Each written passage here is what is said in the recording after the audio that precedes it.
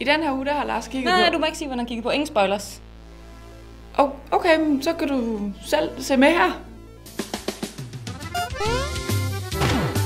Noget af det bedste ved spilmediet for tiden er den utrolige variation af spil, der kaster sig over. Alt fra flotte og kedelige AAA-udgivelser til elendige og uspillelige Early Access-spil.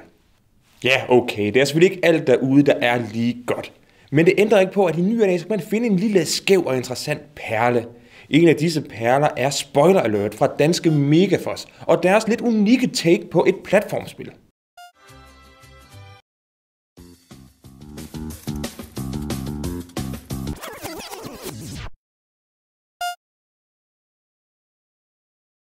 Spoiler alert er den simpleste platformer, man kan tænke sig til. Man kan faktisk ikke andet end at hoppe, da ens karakter, Chili-rideren, konstant løber af sig selv. Der hvor spillet dog skiller sig ud, er ved at det første man gør, det er at dræbe slutbossen og redde prinsessen. Men så begynder det hele at gå baglands.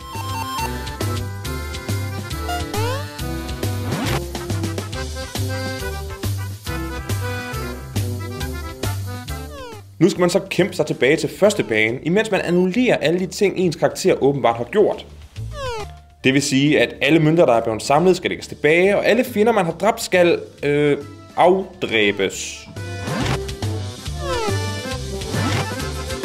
Det lyder måske ikke så svært, men man skal ikke undervurdere, hvor ondt det gør i ens gamerhjerte med vilje at hoppe over mønter, man nemt kunne have samlet. Det er ren tortur.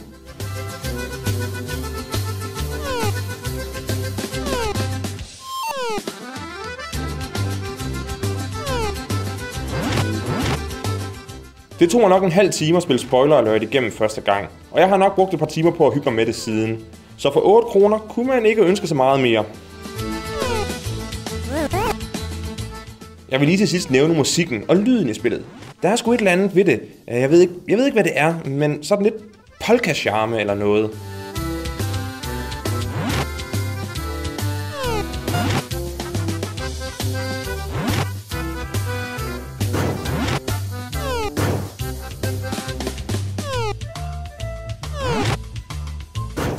I sidste ende, så er der ikke så meget at sige. Spoiler alert, det er sgu meget underholdende.